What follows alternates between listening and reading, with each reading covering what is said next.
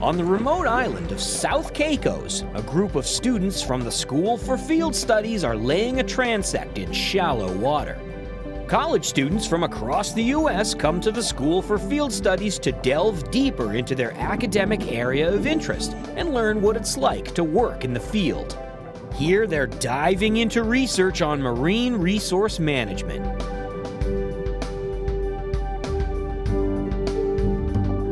This spot, in the shelter of the seagrass with a steady food supply of algae, is the ideal habitat of the queen conch.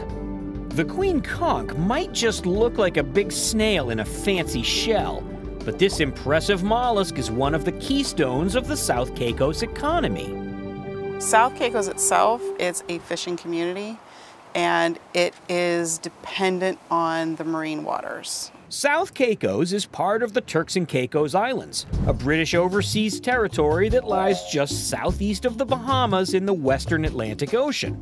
South Caicos has a vibrant marine ecosystem, with fisheries providing the primary source of livelihood for the community. For as far back as we know, the queen conch has been a reliable source of food in the Turks and Caicos Islands, However, in recent years, the demand for conch has increased internationally, as well as among the many tourists who visit the islands. South Caicos conch provides about 10% of the world's conch supply, which is really proportionately large amount, seeing how small TCI really is.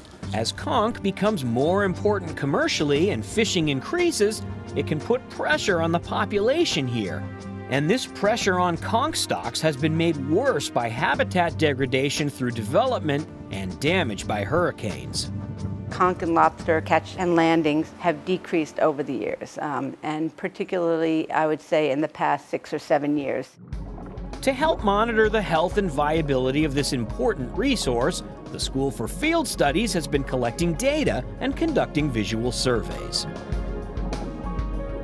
By using a transect, students can determine the average number of conch on a representative area of seafloor. They want to learn how the conch population is faring fish populations are in decline the world over. They're also in decline here. In the future, the habitats and the populations might not be as healthy as they are right now. So this is a fantastic opportunity to conduct research before things go terribly wrong and to be able to provide results of research to the government and show them what they can and when shouldn't do to avoid any detrimental impacts on the marine environment. The information we have, we provide back to DEMA, which is the Department of Environment and Maritime Affairs, and they can actually use that information as a springboard. During the transect, the students collected a small sampling of conch from randomly selected sites on the Caicos bank. Back on shore, they're taking measurements alongside Luc Clervaux from the Department of Environment and Maritime Affairs. 1.1 millimeters. Student Daniel Liu's research focuses on developing ways to monitor the conch fishery under challenging conditions. A lot of these fishermen remove the conch from their shell as they come in from sea to the port. Problem with that is that now the shells are gone, so how can you regulate the size or maturity of these conch that they're bringing in if you don't have the shell to measure? So what I'm looking at is the operculum of conch, which is something that's physically attached to the body, something which processing plants here, it will be really easy for them to measure and see if it is a sexually immature conch. And hopefully we can create more effective regulations for protecting and conserving the stocks down here. Collecting this kind of data from the fishermen is important to managing the fishery, says Clervaux. Protecting it, managing it uh, sustainably and effectively is key to their livelihoods in the long run. As pressure on the conch fishery increases, fishermen have to travel further to find conch. Fishing areas have changed, uh, total catches have changed, and with some analysis of this data, we'll see where we go with that. As conch gets harder to find, some fishermen instead switch to something more abundant and readily accessible finfish. Fishermen are transferring their pressure onto other species because they're getting lower catches of, of lobster and conch. So the concern is that too many fishermen will switch over to fishing for uh, what, what are called finfish, actual fish as opposed to invertebrate species. Fortunately, the students are also studying the finfish population around the island, which includes grouper, snapper, grunt, and triggerfish. We have been collecting data on finfish industry for a very long time. A transect is also used to estimate finfish populations, but it's a little trickier than it is with conch that don't move very quickly. Students roll out a transect line across the bottom, in this case a section of reef.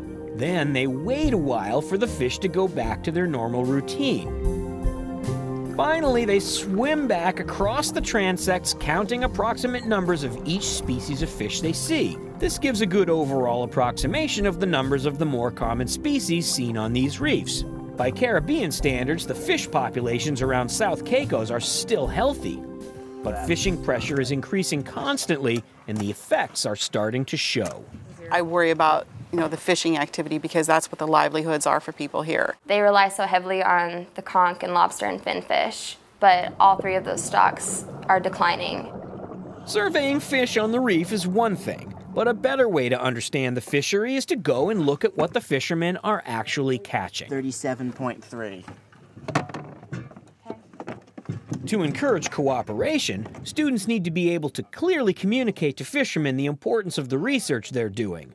There's a delicate balance between preserving the future of fisheries and the necessity of feeding your family. Sometimes it's difficult um, getting them to understand that you know we're on the same team. We're not trying to hinder you from you know making a living, but rather uh, seeking to sustain your your livelihood.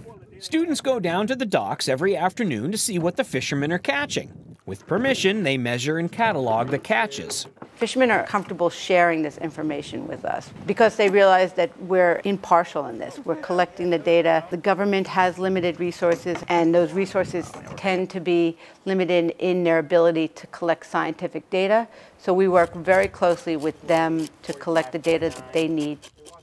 In the future, all the data being collected by students at the School for Field Studies will be helpful for the government as they develop fisheries management plans and for the community stakeholders who rely on the fisheries.